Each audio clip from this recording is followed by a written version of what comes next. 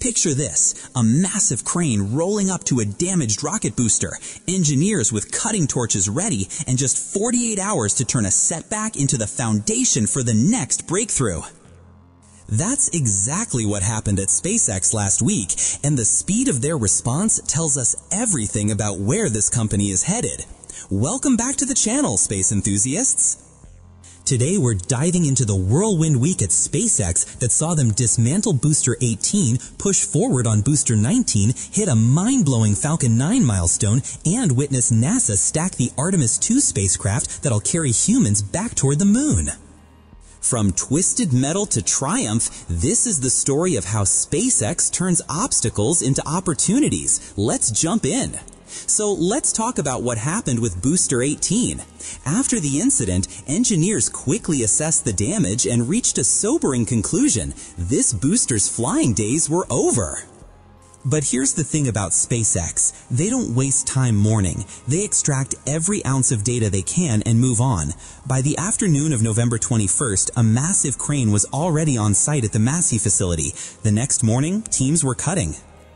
And we're not talking about careful, weeks-long disassembly.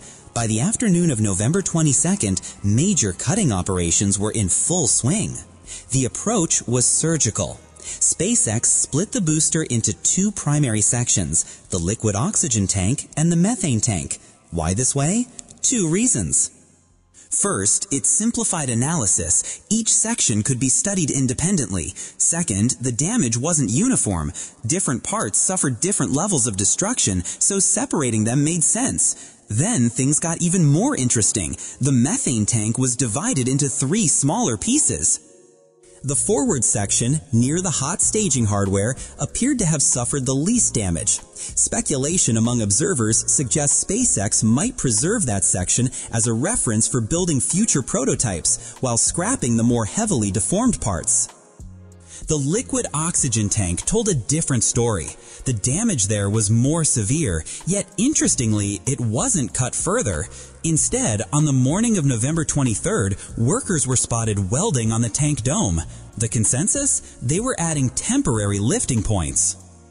See, the original lifting hardware was located on the forward section, the part that had been removed. Without it, there was no safe way to move the LOX tank.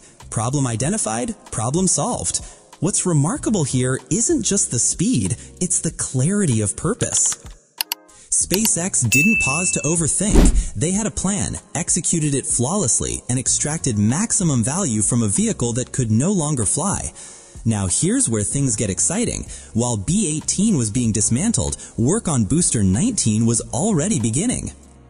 According to SpaceX's latest updates, the Starbase team plans to have the next Super Heavy booster fully stacked in December. We're talking potentially next week, folks. This aligns perfectly with the planned test campaign for the first Starship Block 3 vehicle and the associated ground systems. SpaceX has confirmed that the 12th Starship flight test remains targeted for the first quarter of 2026.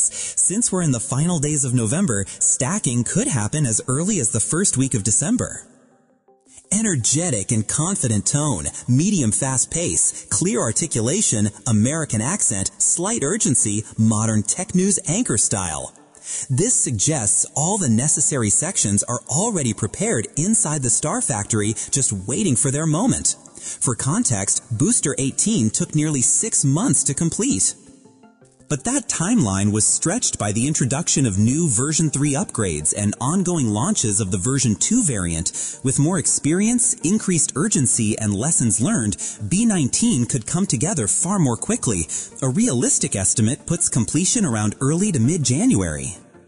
Here's the flexible part. The official launch window extends through the entire first quarter of 2026. That means SpaceX has breathing room. Cryogenic testing and static fires could begin in January or early February.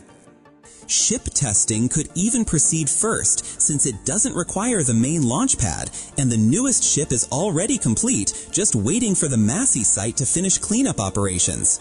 If everything accelerates smoothly, a February launch for Flight 12 seems entirely plausible. Mark your calendars because 2026 is shaping up to be an absolutely wild year for Starship. But vehicles are only half the story. Let's talk infrastructure. On Pad 1, SpaceX has been refining the chopsticks, those massive mechanical arms that'll eventually catch returning boosters. After trimming the left arm and removing the landing rail, they've now done the same to the right arm. Both arms will likely be shortened in the near future. Why does this matter? By trimming the arms, the system becomes less bulky and easier to operate, with more room for precise movement. Remember, these chopsticks won't just lift vehicles, they'll catch them mid-air after flight. The version 3 upgrades will introduce even more significant changes. New landing rail configurations, improved catching pins, enhanced actuators, and refinements that'll set the new system apart from the older version. Over on Pad 2, things are even more dramatic. After days of adjustment work, the ship Quick Disconnect Arm, the QD, has been officially lifted into position and installed on the tower. This is huge. All major systems required for Pad 2 are now in place. Over the next few weeks, final small-scale installations will be completed, followed by comprehensive testing. And here's the cool part, the new QD on Pad 2 is a complete redesign compared to Pad 1. It's supported by a robust steel frame and features a white enclosed structure that resembles a crew access corridor, similar to what you'd see in Florida. This design offers far greater stability than the Pad 1 version, which relied on a tube-based structure and some rather improvised-looking support frames. The old setup made Pad 1's QD vulnerable during launch, especially as Starship rises past it under intense thrust, heat, vibration, and pressure. Pad 2's version is built to handle that punishment.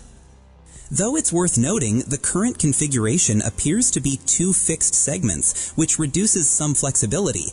It's possible this is temporary and future editions will increase its range of motion. Now let's shift gears and talk about an absolutely bonkers achievement.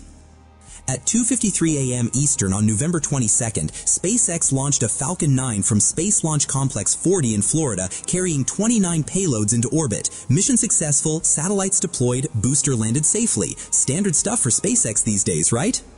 Except this was the 150th Falcon 9 launch of the year. Let that sink in. 150 launches. In modern spaceflight, many rockets struggle to launch once or twice per year. Reaching 10 flights annually is considered remarkable.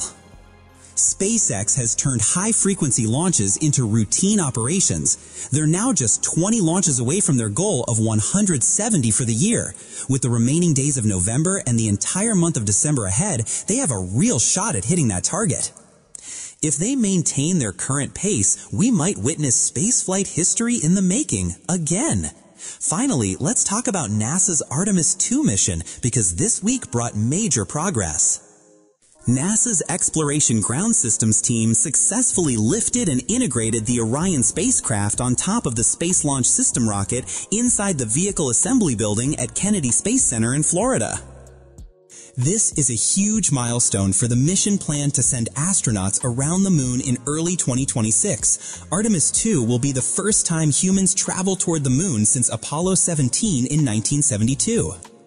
The crew, Reid Wiseman, Victor Glover, Christina Koch from NASA, and Jeremy Hansen from the Canadian Space Agency will fly a hybrid free return trajectory, swinging around the moon and naturally returning toward Earth using gravity. During the roughly 10-day flight, they'll evaluate life support functions, spacecraft maneuvering, communication systems, and countless other operations required for future lunar landings. Orion's heat shield, the largest ever built for a crewed spacecraft, will protect them during re-entry at speeds nearing 25,000 miles per hour. This mission is the crucial stepping stone toward building a lasting human presence on and around the moon, enabling the Gateway Orbital Platform, long-term lunar surface systems, and eventually Mars missions.